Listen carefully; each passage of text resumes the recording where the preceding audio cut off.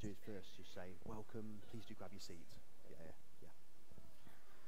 That's great.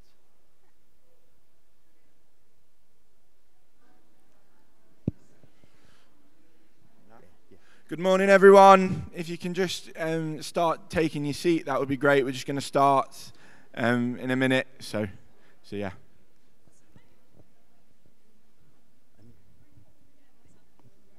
I'd launch in. Launch in. Okay, good morning, everyone. I am Josh, for those that don't know me. Um, I am the pioneering youth worker um, at, at St. Mark's. It's lovely to um, be with you this morning. Um, and this is. I'm Dan. Um, I'm the vicar of St Mark's. I don't know if I'm coming through, but it's uh, it's lovely to see you. Um, and uh, yeah, it, what a what a weekend it's been. Josh, what have you been up to this weekend? lots of things. But really exciting was that last night we had our um, cafe quiz and carol night. That was a r- really great. I recognise some of you came last night. Can we see that on the screen, Carol? We should have a lovely picture Carol? of the. Uh, should have a lovely picture. There we go. There was about 70 people last night, which was amazing. I think nine teams, um, and there was a there was a good split between church family, church community, and then also community outside of church that maybe don't always haven't engaged before or have, have been to odd events. So it was really really great to see. Unfortunately, my team didn't win, but it is what it is. Um, and this morning is our all together service. So once a month, each um, each first Sunday of the month, we have our all together service. So it's a chance for the whole church to come together and to celebrate God with us and, and dive deeper into um, certain topics that are suitable for everyone. So that's this morning. And then finally, this morning, you might notice here we've got our wonderful Christmas tree. Um, and under it is lots of toys um, that we've got, and that's all because this this morning is Toy Sunday. So we collect ch- um, toys as a church. Um, Will and Linda do um, an amazing job collecting um, toys and, and organising everything, and they're going to local schools, to Grange Valley and Legh Vale as well, and that will really bless young people. So thank you for everyone that's brought toys this morning. Um, and I thank you everyone that's been praying for that as well. That's, that's absolutely amazing. Um, thank you, Josh. As we, as we give these presents to the school, please do pray for each child who receives one. They're going to the children who are most um, uh, unlikely to have um, many gifts. And it's, uh, it's, it's a wonderful thing to receive something from your local church, um, just to say, you know, we love you too. Um, last Altogether was a particularly lively one, and um, we've taken lots of feedback. I just want you to know we have thought this through, we've worked out a few things. We've reinstated the bigger space at the front, so when the kids come up, there's space for them. Um, uh, some people asked, could we have the baby jail back? That would be really helpful. Not sorry, that's what it was affectionately known as. The baby, the space for little ones who like to crawl and like to escape. Um, so when I arrived, I was told about this baby jail. I was thinking, what is that? What is it? It's an affectionately affectionate name for a space just to keep the children together if they're um, particularly running around. If um, if you've uh, if you've got children this morning, um, children are always, always welcome at St Mark's. Um, and something I'll be sharing every service, first of the month, um, will be the, the, best the best way we can worship together um, is for children to feel at home, which means if they're wandering around murmuring, completely fine. If they're running laps of the building or climbing the, climbing the structures or just causing disruption, we have a brilliant breakout space for those exact moments. Um, and so we've got, the, uh, we've got some, some toys in the back. Everything's being piped through, so you'll be able to see and hear everything that we're saying in the service in that space. Um, and just while we don't have a baptism here, I just want to say to church family, um, there are three B's that we look for when people come to church for the first time. Firstly, we pray they encounter Jesus and start to belong. And then we pray that they'll believe in Jesus Christ. And thirdly and finally, we, we hope that they will catch the culture of the church and start to behave as we'd like them to. So it's a bit of a challenge to us. When we have people in the church who aren't used to church, let's be as welcoming as possible. And I hope just a gentle notice at the beginning, like the one you've just heard, can just help us all have a really good worshipful experience, whatever age we're at and whatever stage we're at. Wonderful, thank you. Now, those that haven't been before, um, this church loves a good notice, and Dan loves a good notice especially. So we're gonna, I'm gonna time Dan. He's got three minutes hopefully to get through all of the notice. There's a lots of things coming up um, for Christmas. So, and I'll have a word with him later if he goes over. So I'm going to get my phone out to time him now. Three, two, one. Amazing. Go. I don't think you'll be the only one who uh, pulls me off on it. So, um, we have, uh, Avril is going to be leading um, with John Robinson an Advent meditation this week, um, 11 o'clock in the community garden on Tuesday. So if you're around, please do go. Um, I w- just before, I think we had some last year as well, and before the pandemic, beautiful reflection services. So this is going to be brilliant. Um, 11 o'clock this Tuesday. Um, next week, oh, no, on this Tuesday in the evening, we have the final choir practice. I'll be there. Um, so uh, it would be wonderful to see um, a, a few more join in the choir so that we can have a beautiful sound as they're adding to the beautiful sound they've already created. For next week's Carols by Candlelight, which leads us to our next one. Um, Carols by Candlelight is next Sunday. Oh, before it, before that, we've got the Christmas wrapping events. This is a great outreach mission event. It's one of the three big community outreach events. So we're going to put uh, tables in the middle, chairs round. We need some wrappers. So if you're a wrapper, if you're up for wrapping Christmas presents, and I've been wrapping presents for the PCC, and they do not look good, don't get me wrapping your presents, so I won't be. But if you're a good wrapper, we would love you to come um, between uh, 11 o'clock and 2 p.m. If you can get here a bit earlier, that's fantastic. To wrap presents, we're going to have a movie corner. We're going to have a FIFA corner. We've got a selfie nativity corner. We've got Father Christmas right here giving the good news um, to people. We've got a treasure map, which if your children haven't had the treasure map, um, let me just grab my one. I don't have one. That's fine. Um, you can grab them on the on the on your way out. Take them, have a look round, try and find the Advent windows around the local area. Um, how am I doing for time? Carols by Candlelight is next week at 6:30 p.m. Uh, it's going to be beautiful. We're going to have, Sylvia is going to dress all the windows with um, with candles and with foliage, and it's going to look absolutely beautiful. So do come to that 6:30 next week. Pop-up nativity service is two weeks' time. Uh, really excited about that, and we're asking you think about your costume now, even if you don't like costumes, you can just wear a hat for us or something like that. That'd be amazing. Someone from the Nativity Story, come and be a part of it. 10 o'clock on the 20 on the 18th, sorry. Um, and finally, I just want to tell you about the Darkest Night service at 6. Oh, favourite carols, 2 p.m. That's going to be brilliant as well. Um, Darkest Night is the next one, please, Carol. Um, and that's for those particularly who are feeling down this Christmas. Christmas is going to look very different. They don't want the festivities, or maybe they just want a space to reflect and um, to be quiet. That is the service for you and for them. So please do invite your friends who are really struggling at this point um, it's a great offering in amongst the mid the, the, um, the program of events. If you want to know about the other ones, just go to the Christmas card. Thank you so much that we've had the best response to giving out the Christmas cards this year um, that we've ever had, apparently. So thank you if you took Christmas cards out. You're amazing. He went over about 20 seconds, just to let you all know. Thank you, Dan, for, for doing that. so now it's our time in the service. Um, that we're going to light our Advent candle. So, leading up to Christmas, we um, are going to light an Advent candle each week. Um, so, can we have a volunteer um, that wants to come? So, Josh, do you want to come come up? Um, and we we've got something to say um, all together. So, I'll lead us in that, and then hopefully it will be on the screen. That's it. That's it. If not, great. People of God, be glad. Your God delights in you giving you joy for sadness and turning the dark to light. Be strong in hope, therefore, for your God comes to save. You are God's children. Your Lord God gives one in love of Christ today and, and forever. forever. Amen. Amen. Amen. Great. Thank you, Josh. We're going to have our um, first worship song now. Um, so, first three. Oh, first three worship songs. Amazing indeed. So we're going to stand together. This song has got actions, if you know them. I would usually be doing, but I'm standing behind the guitar today. So um, faith as small as a mustard seed. We've done it for years. A lot of you know the actions. I'll be looking. All right.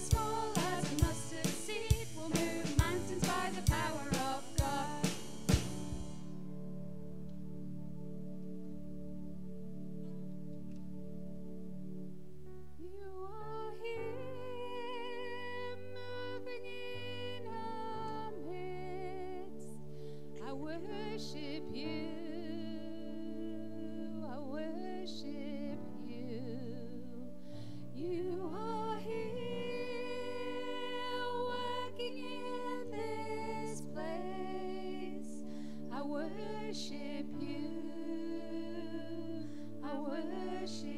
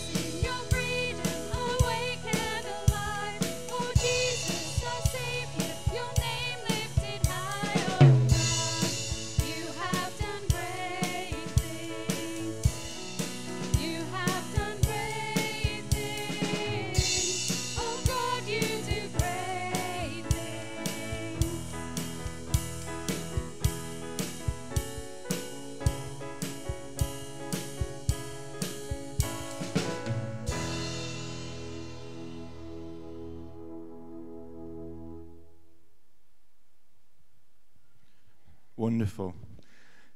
Please take a seat. So, this is a part now where I'm expecting the congregation to answer some really easy and tricky questions. Okay, so we're going to do a quiz as part of the game um, this morning. Um, so, hopefully, I was looking at the screen there, there's no screen there. Um, uh, there's, a, there's a screen up here, so hopefully you'll be able to see some of the questions. So, if you know the answer, put your hand up and I'll point to you. Okay, I'm expecting five out of five. Come on, we can do this. Who was it that Jesus asked on the boat to stand on the water with him?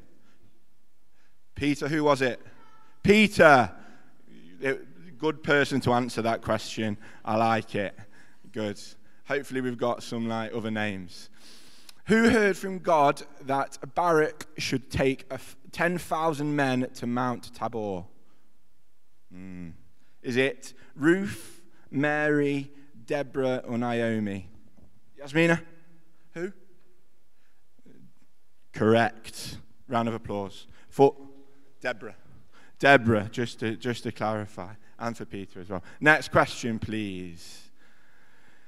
Daniel was thrown into the lion's den because he prayed to God. True or false? Harriet. True. Round of applause. Right, three, three, four for four. So, oh no, sorry, three for three. How many sons did God's faithful servant Job have? Tricky one. Was it three, two, one, or six, Josh? No. Anyone? No. One. One. There you go. There you go. Next question, please. Who led the Israelites out of Egypt through having faith in God? Easy one here. Anyone that hasn't answered yet? Yeah. Who was it? Moses. Round of applause. Round of applause. Last question. Oh no, I think that's it. That just went so fast. What can, I, was, I was expecting um, there to be other questions. Round of applause for everyone that's done that. Good, good answers, good answers. So now we have got um, someone that is going to come and do our Bible reading for us. So, Harriet, do you want to come up?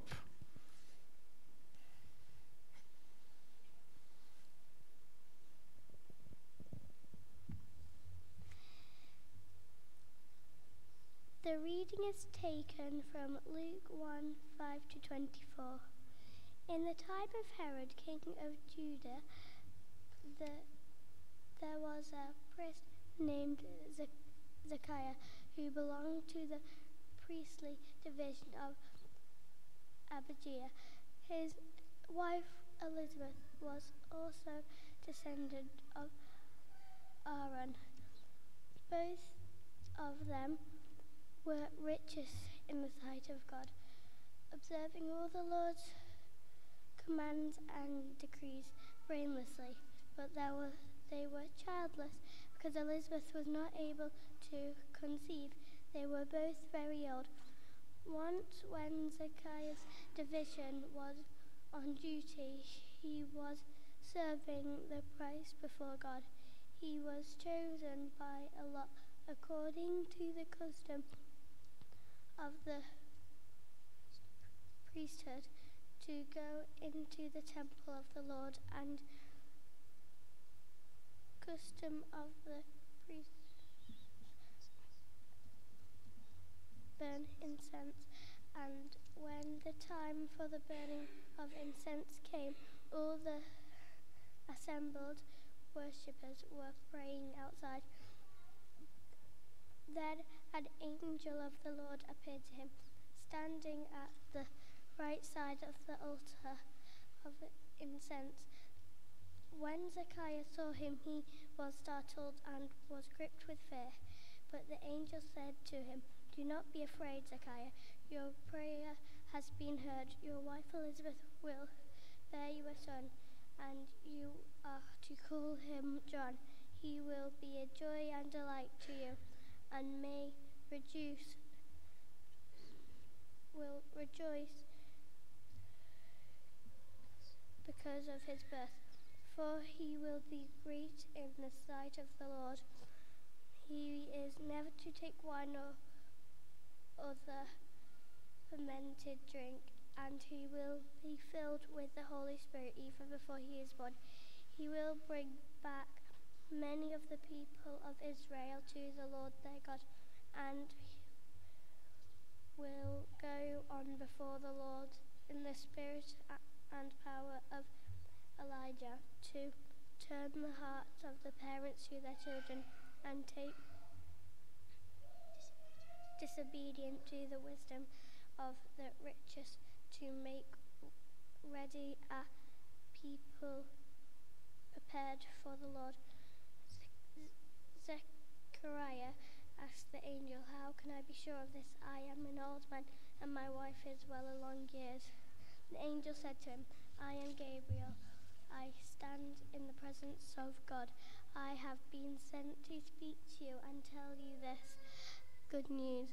Now you will be silent and not able to speak until the day is, this happens, because you did not believe my words, which will come true at the appointed time.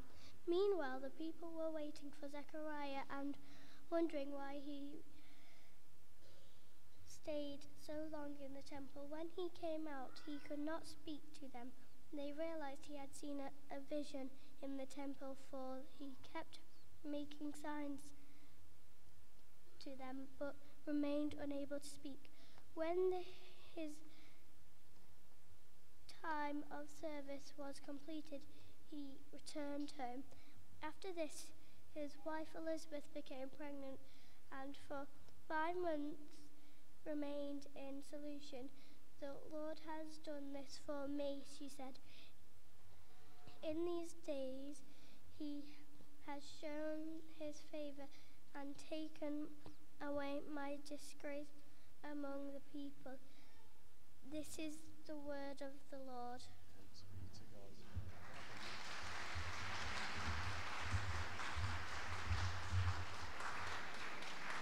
A big well done to Harriet because that was a long, long Bible reading and it's very scary, uh, um, especially when you've not done it before. So well done to Harriet. We're going to watch a video now, um, um, linking on from, from that and the story of Zechariah and, and everything that we've just heard Harriet say. So we're going to watch a video now and then Dan will come and dive. Yeah, there you go.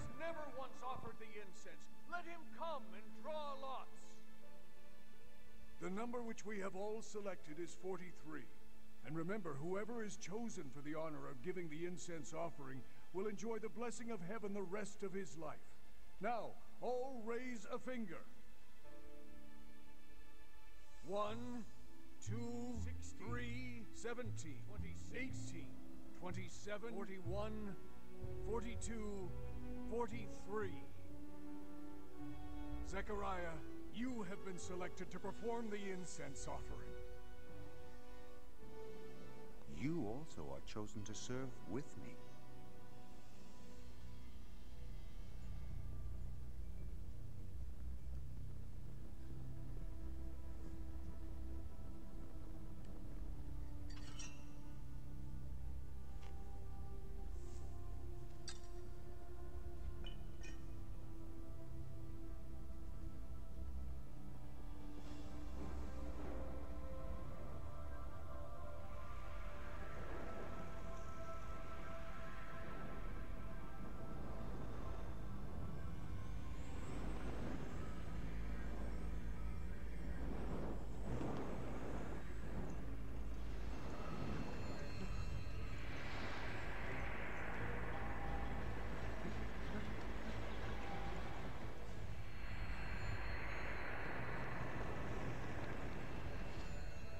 Be afraid, Zechariah.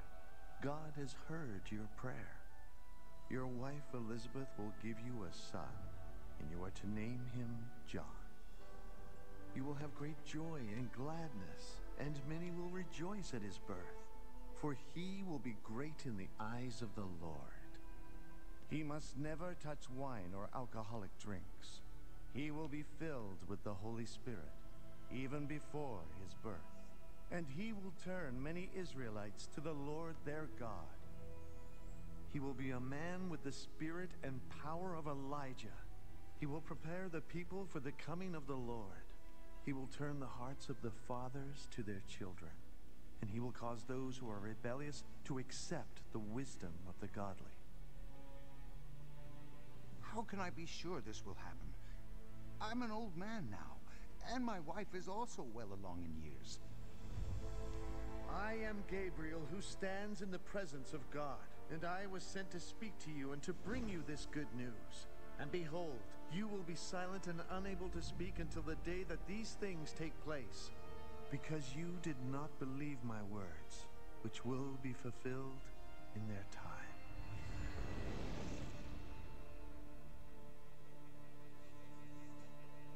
The evening blessing is being delayed.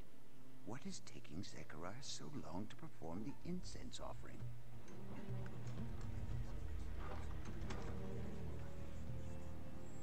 Zechariah has seen a vision. His voice has been taken away.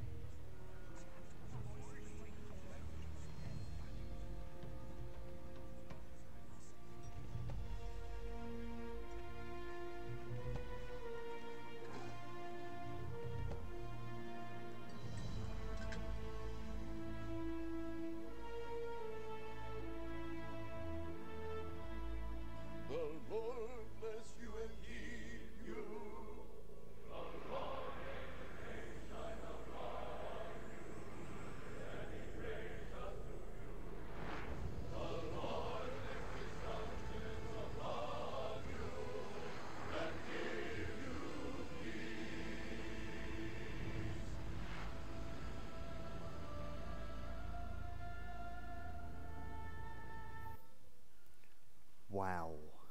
Wow. Can you imagine it? So the people of Israel have gathered together outside the temple, and it is the special day where one of the priests will be chosen, one of the priests who's never done it before, to go into the Holy of Holies to offer incense before the Lord. This is a moment where um, the priest will place the incense on the altar, and it will bring up beautiful incense, um, uh, like a, a bridge between us and God. Um, the people are still gathered outside, they are waiting. And everything we have just seen happens within the context of this great gathering to see God at work. People come expectant to be blessed by God. I don't know if you've ever been in a gathering like that. That for me is why I go to New Wine. Um, there might be maybe other places that you've been to Spring Harvest. Maybe it's to our encounter events um, once a month, which we've just started. Moments where you lay aside everything else. Sometimes it's a bit of a pilgrimage. There's a bit of a journey. At least New Wine, we're packing the, getting ready. We're packing the bags and we're getting ready to go on this journey to go and meet with God. And there's something about the preparation in our hearts that's really important as we then approach. Zechariah has been preparing for this moment all of his life, and he's now old. So that's where I'm going to pause the story. I wonder if I could have four volunteers. Um, come on up, Peter. Come on up, Harriet. Hi, Alex. We've got one more volunteer. Go. Oh, yes, Yasmina, that'd be lovely. Come on up. Right, I've now got five of you, which is completely fine. Um, we're going to start left to right, and uh, it's, it's my um, what's in the bag uh, trick as usual. So, um, who would like to open my first bag? Yasmina. Can you take carefully out of my bag and show it to the church? Hold it up nice and high above your head. That's it. So if you come over here, let's turn, turn the angel round. Oh, sorry. and, and Yasmina, speaking to my microphone, what, what, what have you got in your hand? Angel Gabriel. An angel could be Angel Gabriel. It certainly represents Angel Gabriel. So we can have the slides as we go, Carol, as these come up. Thank you. We have an angel, an encounter, an encounter with uh, a message from God. In fact, a messenger from God. That's brilliant. Um, who, who wants to go next? Who wants to open my blue bag? So we've got Lily. Do you, Lily and Alex, do you want to do this together? Put your hands in. Put your hands in and bring out. Now, I'll be impressed if you know what one of these is. It's a, Phone. a phone, it is. It's an old telephone. So I thought that would be helpful. So, um, uh, Lily, do you want to hold that next to Yasmina? That would be lovely. so, we have a messenger from God, an angelic encounter, and we have a calling to faithfulness. A calling to faithfulness. The angel says, You're going to have a child. And this child is going to save, uh, he's going to prepare the way um, for the Messiah.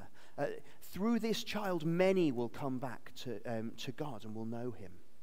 Um, you want the last one? Okay, wait, Peter, because that was our last one. Harriet, would you like to open um, this bag and hold up nice and high? What have you found? A baby. A baby. There is a promise of a child. So we have the encounter, we have the calling to faithfulness through um, uh, receiving this child. Um, it's amazing.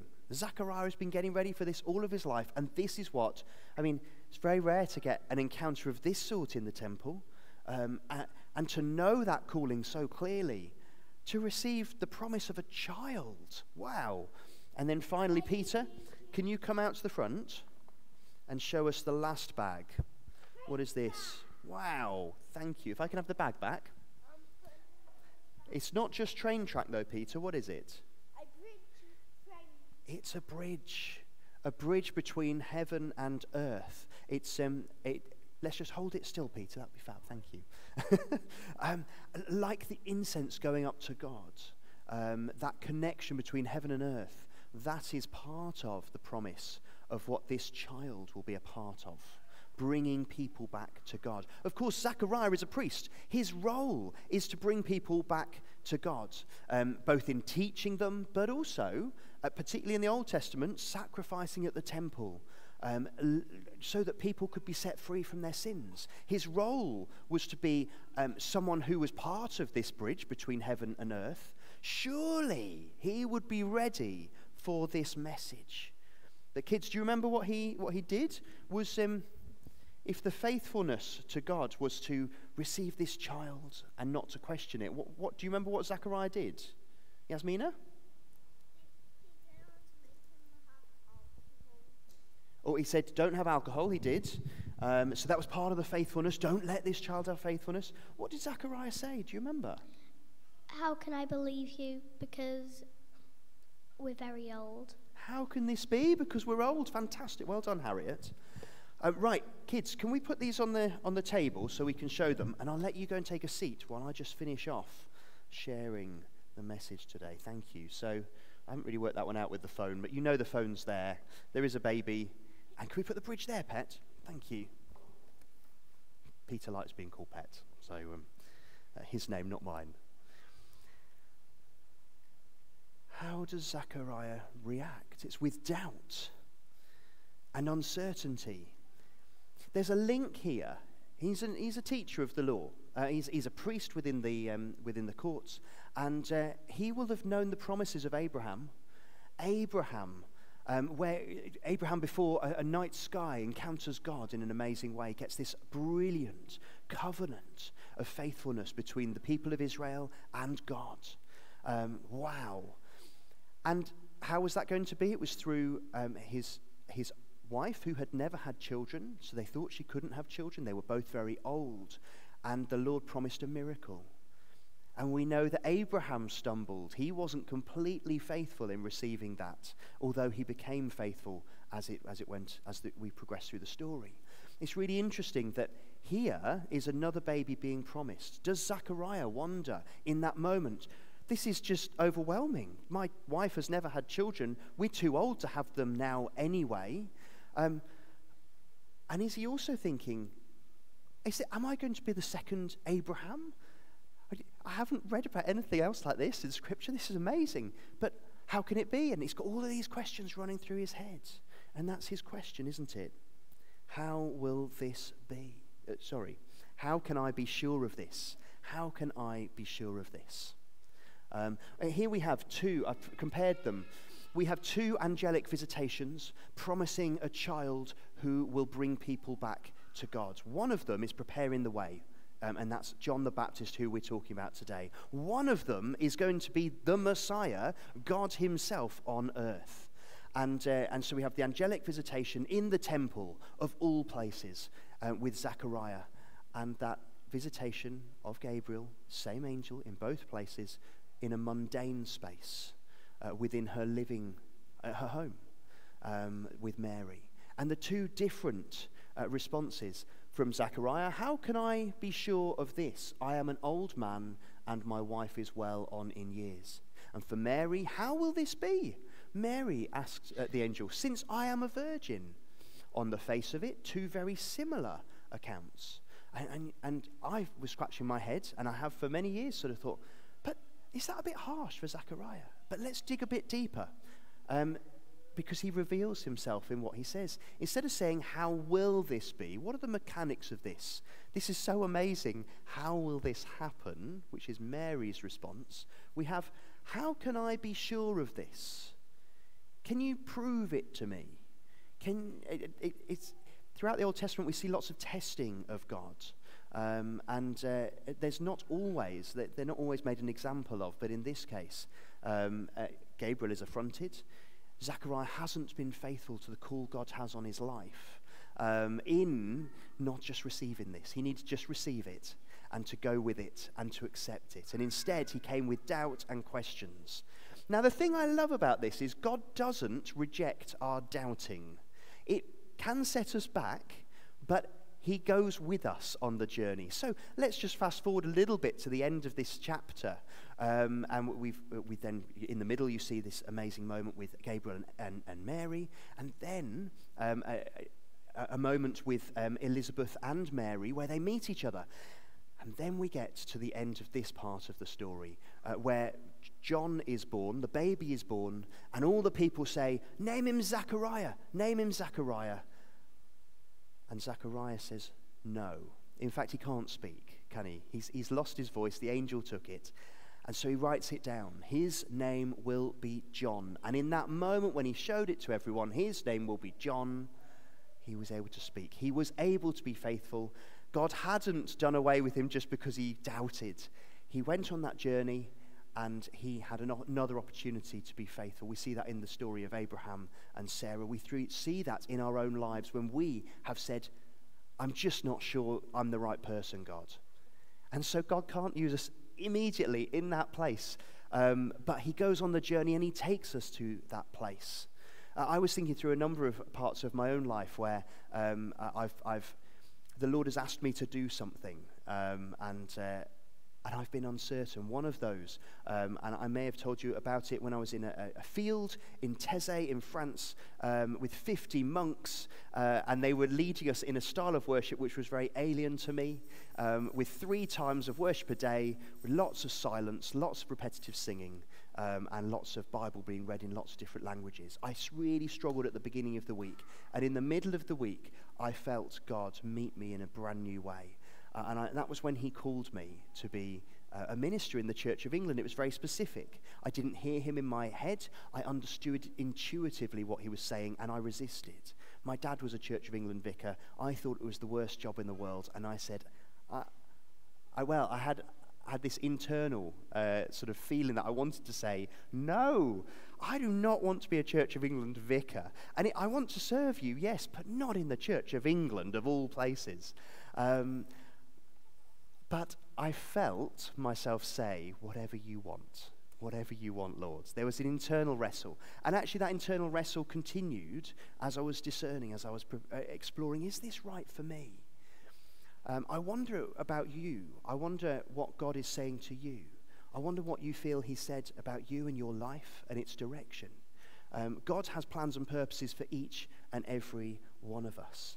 Um, I've got a, a, book that I highly recommend called Know Your Why. So if we could have that on the screen, please, Carol. That'd be lovely. Know Your Why by Ken Costa. It's on the bookshelf. Um, I'd bought one a couple of years ago. That's been borrowed, so I've put another one on there. Please do borrow from the Vicar's li- um, uh, borrowing library and then just bring them back maybe a month or two after you've read it. This one is fantastic in helping us work out with the Lord and, and ask the question to Him Why did you create me? Um, what are you asking me to be faithful to? God. Sometimes we feel God really speak clearly, and other times it's not as clear. Um, some of you came last week to our encounter event, and uh, it was a beautiful place of listening to God in some actually pretty playful ways around some tables at the back after some time of extended song worship. And it was wonderful hearing afterwards of how some people felt God had spoken for the first time. Some felt it was, um, they weren't, weren't exactly sure, but they were really they loved the fact they'd, they'd met with God and they'd heard something from him. Others felt very clearly they knew what was next. Two things the Lord calls us to do in sharing our story, um, and, and I believe this is part of what we do here in St. Mark's. Um, we've got Christmas cards, we've got amazing events coming up to help people hear the story. Um, hear something of the story of Jesus. The gospel message will be preached at every single one of these services. And at our mission events yesterday and next week, um, they will be offered different ways of accessing the good news um, rather than a message from the front. So please do give these to friends and pray about which friend you're inviting to one of these. There's such a, an array of services. Um, I'm sure there'll be one that a friend would come to. And then we're also relaunching Alpha. Uh, we wanted to do this after the Christmas period as an opportunity to um, give people space immediately to respond. Do you know, I'll take one of these. And what we've done is we've created it on the other side. There are all of our midweek activities. Um, so this is hopefully a really helpful invitational tool to get it into someone's hand. What I'd love us to do is just to spend um, a moment in quiet, and then Kay will lead us in our final prayers. Um, in fact, no, I'm leading that, I think. So, uh, but Kay's beautifully set it up for us. What I'd love us to do is just to take some moment, maybe with the band playing gently, um, just to pray, Lord, who, what are you, what are you calling me? What's the faithfulness you're calling me to? Maybe it's to invite someone to Alpha, or to one of our midweek things, or to one of our services. Um, maybe it's something bigger for your life. Let's just spend a moment of quiet with the band playing, and then I'll, while they continue to play, I'll introduce our next prayer activity. Holy Spirit, we thank you that you speak to us, that you meet with us, and we pray in this space would we encounter you? How are you calling me to be faithful today?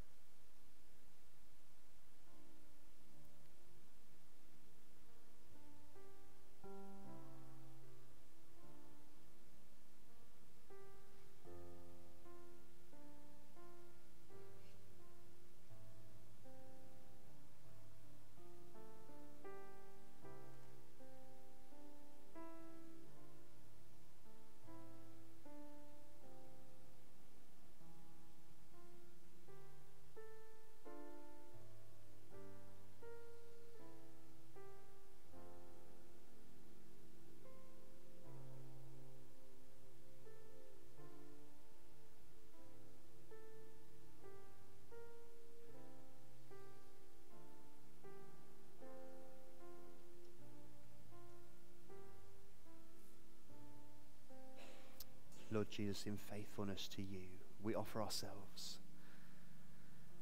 We pray, would you guide us into all those places you want us to go? Help us step into the places you're blessing. Jesus, help us to pray for those who we know who are ill faithfully. And Lord, I want to particularly pray for baby Vanessa um, McKee, rushed into hospital this morning um, in the early hours with a heart concerns around her heart. Jesus, we pray, whatever that is, we pray there would be healing over her little body. Lord, we pray that you would strengthen Johnny and Sandra. Um,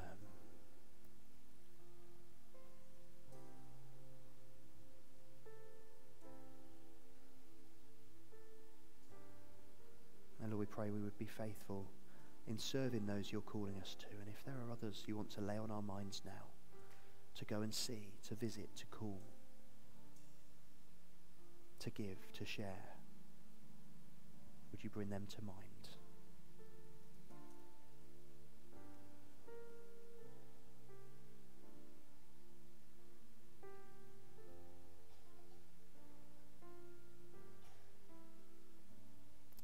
What I'd love you to do is to, in response, come to the front to take one of these very different shaped crosses. Each of them is different, or most of them are different you could spend a moment, if there's not too much of a you, in finding one that you think, yeah, that represents me.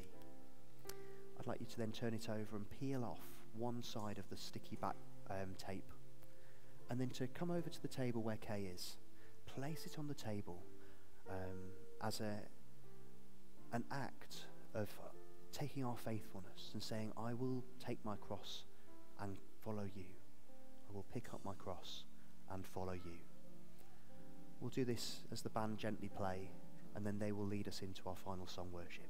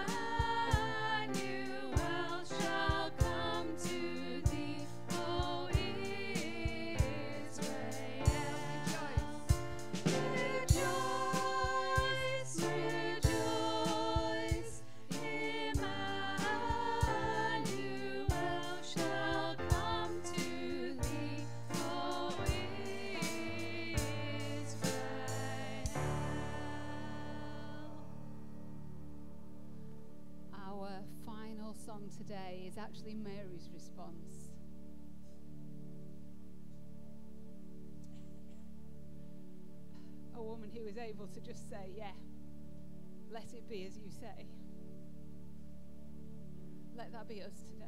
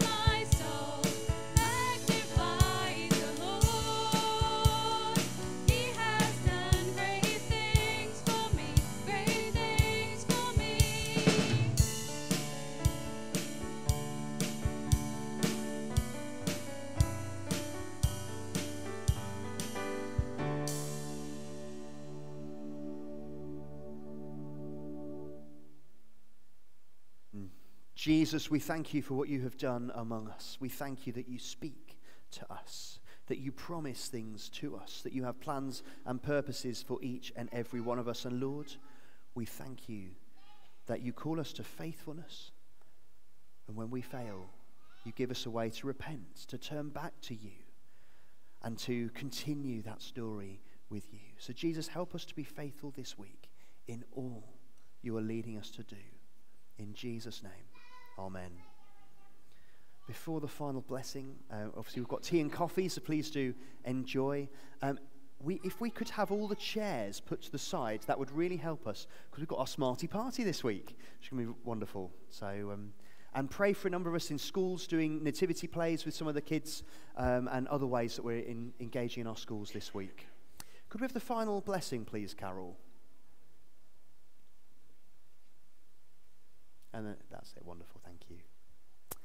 Let's pray. Loving Father, we pray that you would always be knowing Jesus, loving each other, and caring for our community. Send us out in the power of your Spirit to live and work to your praise and glory. And the blessing of God Almighty, the Father, the Son, and the Holy Spirit be among us and remain with us always. Amen. Amen. Have a great week. God bless.